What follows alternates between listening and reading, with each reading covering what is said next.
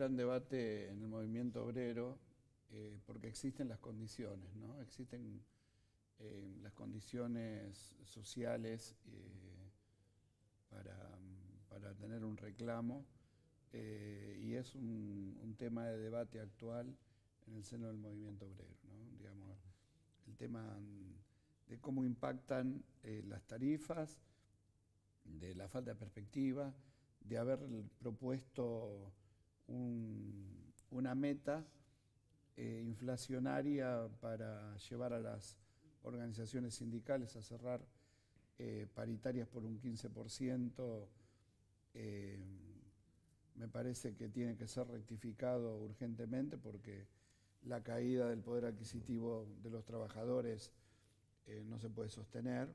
Así que, si no se rectifica todo eso, existen las condiciones reales eh, por todo, ¿no? Por la inflación, por la caída del, poder adquisitivo, eh, por, cómo impactan eh, los precios, ¿no? En, la cadena de consumo básica y, el tema de las tarifas, que es un tema muy, muy, de mucho impacto y, y muy complejo, pero no solo en la mesa de los asalariados, en, la economía hogareña, sino en toda la franja de pymes, pero eh, no cabe duda de que condiciones objetivas eh, existen, ¿no?